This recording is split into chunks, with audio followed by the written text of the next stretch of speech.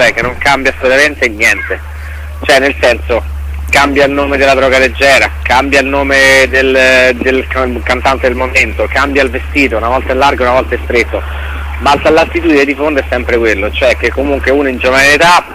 nel, la, in quella fase che è il capire se stesso e il mondo che lo circonda si ritrova inevitabilmente in una fase di eh, contrasto comunque tra lui e il mondo di fuori nel tentativo di capire le cose che gli piacciono e che non gli piacciono e di cambiare anche quelle che gli piacciono facendo proprio leva sulla sua sicurezza di, di giovane uomo o giovane donna. Però ecco eh, c'è questa forma quasi automatica di, di, rifiuto, di protesta e di tentativo di, di cambiare. Poi quando andare avanti nel tempo questa fase si sopisce ma hanno detto che che, che, che non ci sia, c'è, c'è in altro modo anche perché io penso che i cantanti beat dell'epoca in qualche modo oggi sono sostituiti appunto dal eh, cioè un po' il prototipo ecco, di quello che eh, può essere che, quello che diciamo tutti in questo momento può essere rappresentare l'idolo appunto eh, del, um, dei giovani tendenza un po' oh, quelli da paragonare un po' a quelli che all'epoca eh, scappavano al Piper e magari con la minigonna nella borsa e poi si cambiavano nel, nel bagno del Piper magari per non farsi vedere i genitori. cioè, nel senso magari um, al movimento progressive ai gruppi beat, adesso ci sta la cultura hip hop e i gruppi che fanno rap. Cambia la musica, cambiano lo stile, cambiano le metriche, però poi comunque è un modo di parlare diciamo alternativo a quello che è il mainstream. Eh, pur diventando essi stessi, sia i gruppi di una volta, basta pensare insomma, a tutti i nomi che sono venuti fuori, Batti Bravo, un giovanissimo Reato Zero, fino a certo. quelli oggi poi eh, entrare a far parte un po' di questo sistema in questa, in questa continua eh, dicotomia no? tra l'esserne fuori però stare pure con piede dentro, per cui a volte è difficile trovare anche per un artista come per una persona nella vita eh, questo equilibrio. No? Sì, ascoltami, invece eh, diciamo che in linea di massima ehm, diciamo che quella che era chiamata all'epoca beta era un po' un'epoca, di, un'epoca, di, trasgressione per quanto riguarda i giovani. Qual è il messaggio trasgressivo invece che ehm, porta avanti l'hip hop rispetto alla canonicità insomma, del vivere quotidiano? Guarda, il messaggio trasgressivo, trasgressivo non, non, è una parola che mi affascina molto, forse nell'hip hop non è nemmeno la più adatta. Quello che sicuramente porta di diverso rispetto a chi l'ha preceduto è un tipo di linguaggio che è un linguaggio realista, cioè ci sono le parolacce perché nella chiacchierata di tutto il giorno ci sono le parolacce, ci sono le incazzature perché nelle chiacchierate di tutto il giorno c'è la gente incazzata nei bar. C'è il momento d'amore perché nel, nella giornata di tutti i giorni c'è poi alla fine il bacio con la propria donna o il proprio compagno che si ama, cioè c'è tutto quanto senza nascondere nulla, né le cose belle che giustamente vanno esposte, ma altrettanto giustamente vanno esposte anche quelle brutte, senza fare della facile demagogia. Eh, senti, invece eh, torniamo ancora al disco, appunto ricordiamo appunto Multiculti, eh, un disco che eh, tra l'altro è uscito in questi giorni, eh, ricordiamo ancora anche il prezzo, tra l'altro non è un prezzo ma un prezzo consigliato che è euro 15,90, eh, perciò è un prezzo accessibile e io ricordo che la tua politica è quella sempre di abbassare i prezzi del, ehm, dei CD, visto che questa è una cosa che tu porti avanti, una battaglia che porti avanti da molto tempo. E questo appunto, appunto va in favore dei giovani d'oggi, appunto, come eh, il titolo della canzone.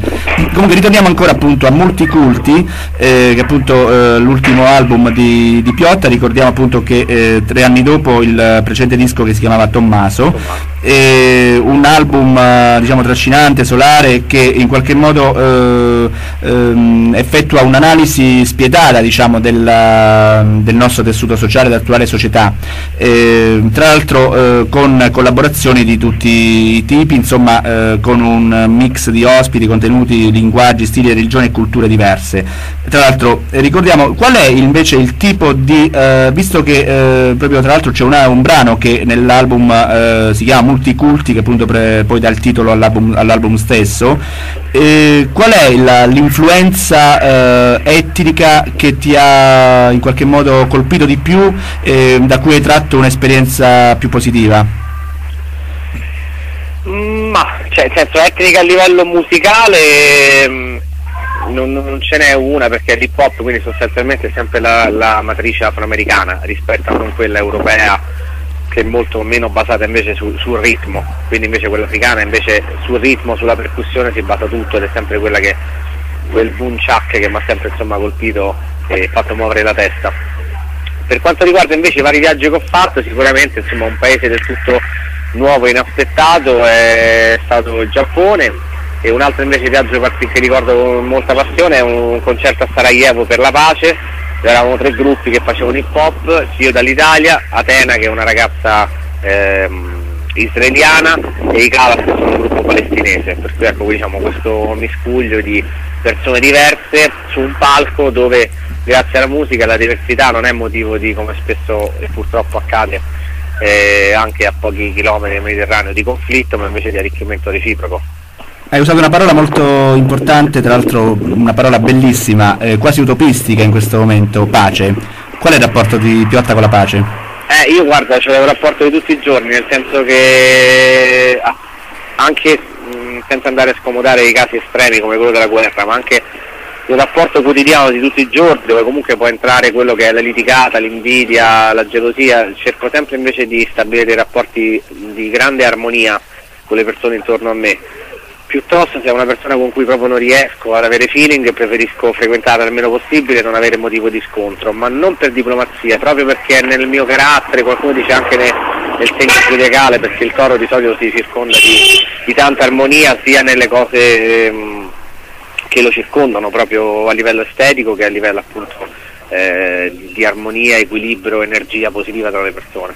E prima hai parlato appunto del Giappone, un popolo pacifico per eccellenza praticamente quello dei, dei giapponesi eh, e praticamente eh, come, come, come, dire, come affrontato, come è visto l'hip hop in Giappone? Mi ha incuriosito questa... No, l'hip hop è visto molto bene, cioè nel senso che in tutti questi paesi che ti ho detto eh, che ho visto, più altri che non ho visto ma so che sono importanti, tipo per esempio il Sudafrica o l'Australia, eh, la scena hip hop è dilaga in maniera vertiginosa e non singole canzoni come funziona qui da noi, no? un po' come la musica dance, cioè una canzone va, poi lo stesso artista ne fa un'altra e non se lo fila nessuno. C'è proprio un amore per questo suono, per cui c'è un amare una, un album intero, non a ragionare a singole canzoni. E questo sta accadendo anche in paesi inaspettati fino a pochi anni fa, uno su tutti, la Polonia. Ad esempio i Beastie Boys stanno preparando il tour mondiale, non vengono in Italia ma vanno in Polonia perché l'hip hop polacco sta mediamente nelle altissime posizioni della classifica e anche con grande successo da, di, di, dal punto di vista di musica dal vivo. Guarda, eh, c'è la linea, diciamo, mh, la musica melodica in generale ehm, ha sempre, come dire, ehm, in tutti gli anni è riuscita a resistere. Eh, l'hip hop è un'innovazione, che, come dire, una musica innovativa eh, che